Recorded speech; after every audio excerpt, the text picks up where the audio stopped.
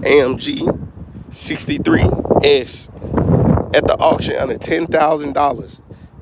Y'all let me know if I should grab it or not. Should this be the new cop to add to the channel? Y'all let me know, man. AMG 63.